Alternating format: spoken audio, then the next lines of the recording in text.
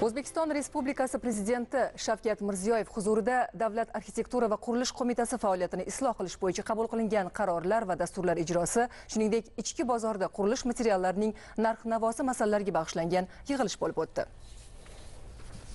Yig'ilishda prezidentimiz Shavkat Mirziyoyev mamlakatimizdagi eng muhim tarmoqlardan biri bo'lgan qurilish sohasini rivojlantirish, xalqimiz munosib hayot kechirishi uchun yaratilgan sharoitlar ko'lamini kengaytirish, arxitektura va qurilish tizimi uchun malakali kadrlarni tayyorlash, ilg'or xorijiy texnologiya va tajribalardan samarali foydalanish, qurilish materiallari ishlab chiqarish sohalarini takomillashtirish, bu borada mahsulotlar narx-navosining asosiy asossiz ravishda oshib ketishiga yo'l qo'ymaslik tarmoqdagi yangilanishlarni har bir tuman kesimida amalga oshirish bilan bog'liq ko'plab masalalarga alohida e'tibor qaratdi.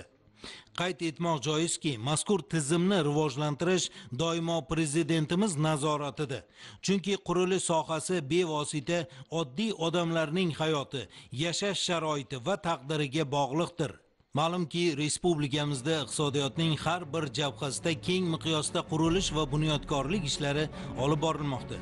Xususan, davlatimiz rahbarining hududlarda tashriflar davomida bergan topshiriqlariga muvofiq Toshkent shahrining Islom Karimov, Furqat, Navoiy va Olmazor ko'chalari oralig'idagi hududda zamonaviy xalqaro ishbilarmonlik markazi Toshkent City barpo etilmoqda. Mazkur markazda eng zamonaviy loyihalar va o'ziga xos arxitektura yechimlari asosida uy-joylar, ofislar, biznes markazlari, ko'ngil ochar hordiq majmualari, milliy va zamonaviy uslubdagi infratuzilma obyektlari va boshqa inshootlar qurib foydalanishga topshiriladi. Xuddi shu konsepsiya asosida samarqand shahrida ham samarqand city markazi bunyod etilmoqda. Shuningdek toshkent viloyatining ma'muriy markazi etib belgilangan nurafshon shahrini mutlaqo yangicha yondashuv asosida va ilg'or xorijiy me'morchilik yutuqlarini qo'llagan holda barpo etish belgilangan. Ushbu shaharning bosh rejasi xalqaro miqyosdagi xorijiy arxitektorlik kompaniyasi tomonidan ishlab chiqilmoqda. Shu bilan birga joriy yilning o'tgan davri mobaynida birgina toshkent shahrining o'zida eko park do'stlik bog'i va ashqobod bog'i kabi istirohat bog'lari tashkil etildi. Bundan tashqari shaharda o'zbekiston milliy bog'ini tubdan qayta qurish va yangi navro'z bog'ini barpo etish bo'yicha qurilish bunyodkorlik ishlari jadal olib borilmoqda. Shuningdek o'zbekiston milliy bog'iga yondashuv hududda adiblar xiyoboni barpo etilmoqda. Zamonaviy shaharsozlik talablari asosida islom karimov xotirasiga bag'ishlab toshkent shahrida me'moriy yodgorlik majmuasi va samarqand shahridagi hazrati xizr majmuasi hududida maqbara majmuasi barpo etildi. Toshkent shahrining shayxontohur tumanida suzukota maqbarasi va hunarmandchilik markazi hamda Xastimon majmuasiga yondashuv hududda islom madaniyat markazi tashkil etilmoqda. Shu bois joriy yil may oyida davlat arxitektura va qurilish qo'mitasi tarkibiy tuzilmasi va vazifalari tubdan o'zgartirildi. Yig'ilishda arxitektura va qurilish sohasi iqtisodiyotning o'sishida aholini ish bilan ta'minlashda yetakchi tarmoqlardan biri bo'lishi zarurligi. Bu borada loyiha va arxitekturani zamonaviy talablar asosida rivojlantirish qurilish sifatini yaxshilash zarurligi ta'kidlab o'tildi. Amalga oshirilgan ijobiy ishlar bilan bir qatorda yig'ilishda davlat arxitektura va qurilish qo'mitasi tizimi va rahbarlarning faoliyati tanqid ostiga olindi. Sohaga doir normativ hujjatlar shu jumladan shaharsozlik qoidalari va qurilish me'yorlarining aksariyat qismi eskirgani ularni zamonaviy talablarga moslashtirish bo'yicha sezilarli natijalarga erishilmagan. Shu bilan birga shaharlarning bosh rejalari qishloqlarda arxitektura rejalashtirish loyihalarini ishlab chiqish talabga mutlaqo javob bermasligi. Respublikamizdagi 1200 ta shahar va shaharchadan faqat 207 tasining bosh rejasi mavjudligi qayd etib o'tildi. Muhtaram prezidentimiz tomonidan bugungi o'tkazilgan majlis faoliyatimiz bo'yicha tanqidiy o'tdi. Albatta bu masalalar biza o'z faoliyatimizda yana nimaga e'tibor berishimizga qaratilgan birinchi moyda qabul qilingan farmon va qarorlarimiz davlat tartibot qo'mitasini ishida juda katta turtki bo'ldi. Lekin hali ham ishlarimizda kamchiliklarimiz bor. Bu Э, shaharsozlik hujjatlarini sifatini va ularni o'z vaqtida ta'minlash masalasi ijtimoiy obyektlarimizni sifatiga va ularni xarajatlarini optimallashtirish energiya tejamkorlik masalalariga katta e'tibor qaratilyapti. Juda katta oldimizga qo'yilgan tanqidiy masaladan bu davlat arxeolog qo'mitasini hamma bizni yo'nalishlarimizda kadrlar siyosatiga bugun katta e'tiroz.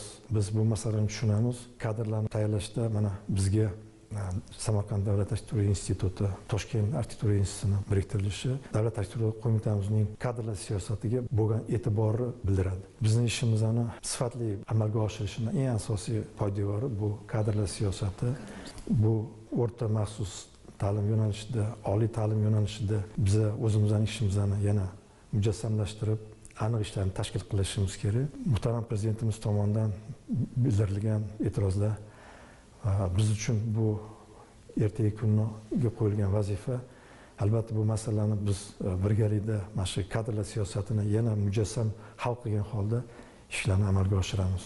Ikki ming o'n sakkizinchi yil qilayotgan dasturlarimizda biz o'zimizni ishlarimizga tanqidiy e'tibor bergan holda oldimizga qo'ygan vazifada albatta biz qo'yilgan vazifani to'laqonli bajarishga harakat qilamiz. Shuningdek yig'ilishda davlatimiz rahbari tomonidan loyiha institutlari bilan astoydil ishlanmayotgani bu borada ilg'or chet el tajribasi joriy etilmayotgani keltirib o'tildi. O'z navbatida qurilish loyihalari sifati past narxi esa asossiz ravishda yuqoriligicha qolayotgani. Bino va inshootlarni loyihalashtirishda ekologik jihatdan xavfsizlik va energiya tejamkorlik yechimlari deyarli mavjud emasligi natijasida. Aksariyat qurilayotgan bino inshootlar bir qolipda va ko'rimsiz bo'lib aholi punktlari qiyofasini ochmayotgani qayd etildi. Shuningdek har tomonlama salohiyatga ega bo'lgan professional qurilish pudrat tashkilotlari shakllanmagani ulardagi mavjud moddiy texnik bazasi moliyaviy manbalar tobora ortib borayotgani qurilish ishlari hajmini to'liq qoplashga qodir emasligi alohida ta'kidlab o'tildi. O'z navbatida jahon banki e'lon qilgan reytingda o'zbekiston yer ajratish va qurilishga ruxsat olish pozitsiyasi bo'yicha bir yuz o'ttiz beshinchi o'rinda bo'lib qurilish sohasida olib borilayotgan islohotlarni jadallashtirish zarur ekanligi keltirib o'tildi. Muhokama davomida davlat arxitektura va qurilish qo'mitasiga tegishli vazirlik va idoralar bilan birgalikda shaharsozlik va qurilish qoidalarini yangilash va ixchamlashtirish bo'yicha dastur ishlab chiqib ularni 2018 yil oxirigacha to'liq ta'minlash shuningdek aholi punktlari bosh rejalarini ishlab chiqish va tasdiqlash bo'yicha mutlaqo yangi 3 yillik dastur ishlab chiqib hukumatga tasdiqlash uchun kiritish topshirildi.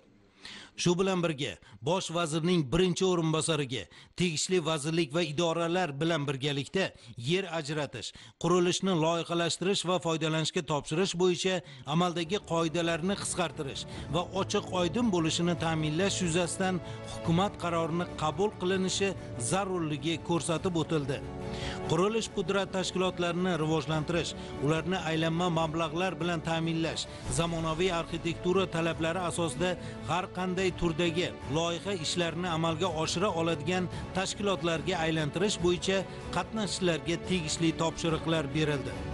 Yig'ilishda aholiga arzon va qulay uy joylar barpo etish masalasi ham ko'rib chiqildi. Bu borada qishloq joylarda namunaviy loyihalar asosida arzon uy joylar qurish dasturi hamda davlatimiz rahbarining hududlarga tashriflari natijasida qishloq aholisining uy joyga bo'lgan ehtiyojlaridan kelib chiqib 2017 yilda jami 19610 ta namunaviy uylar qurilishi olib borilmoqda. Hozirgi kunda 10431 ta arzon uy joylar qurilishi to'liq yakunlanib foydalanishga topshirildi. Ushbu uy joylar bo'yicha muhtoj oilalarga 1 trillion 620 milliard so'mdan ortiq miqdorda ipoteka kreditlari 15 yil muddatga ajratilmoqda. Shu bilan birga 2017 yilda shaharlarda namunaviy loyihalar asosida jami 7919 ta xonadonli 191 ta ko'p qavatli uylar qurilishi amalga oshirilmoqda. Shundan toshkent shahrining sergeli tumanida 4088 kvartirali 102 ta ko'p qavatli arzon va qulay uy joylar qurilmoqda. Mazkur xonadonlar uchun uy joyga muhtoj aholi va yosh oilalarga 751 milliard so'm miqdorda yigirma yil muddatga imtiyozli ipoteka kreditlari taqdim etilmoqda.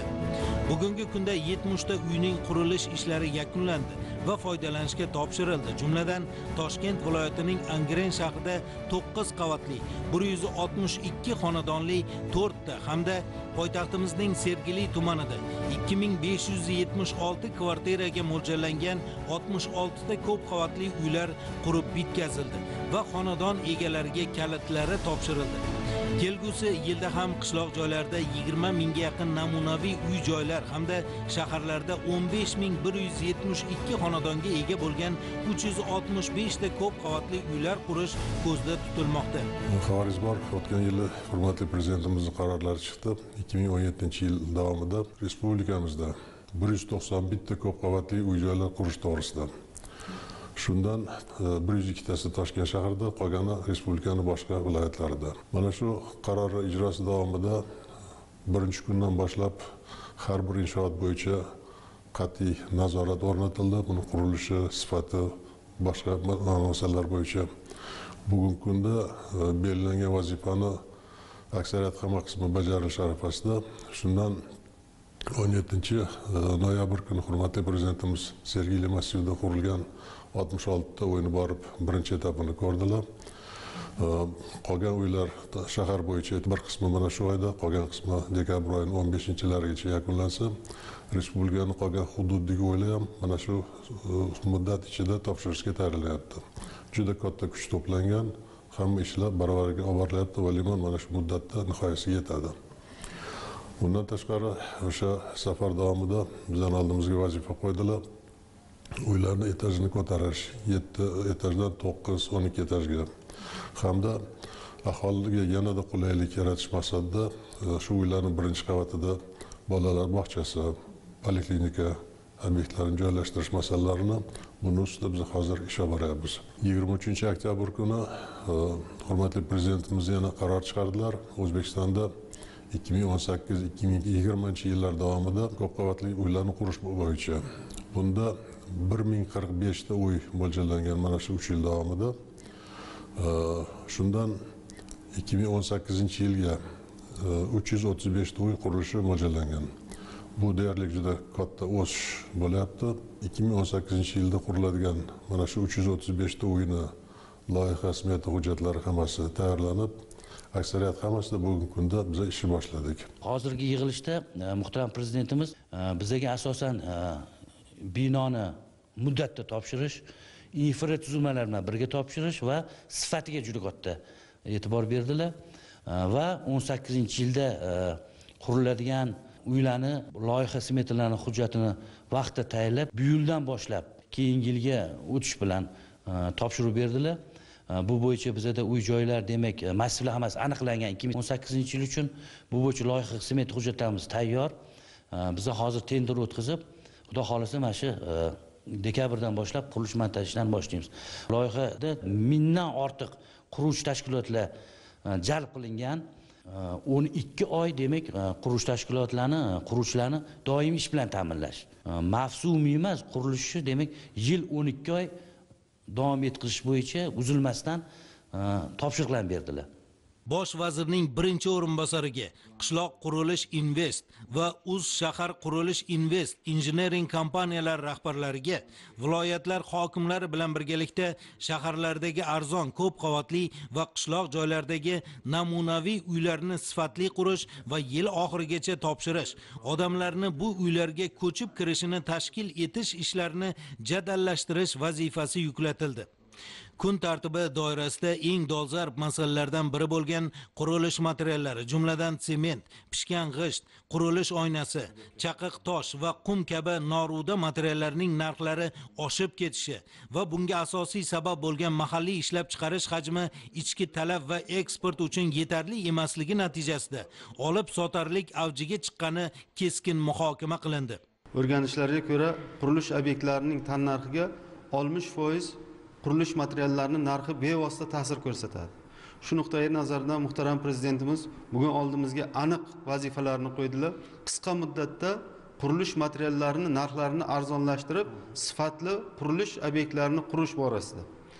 Bu borada respublikamizda barcha imkoniyatlar bor. Avvalambor respublikamiz tabiiy xomashyo konlariga boy.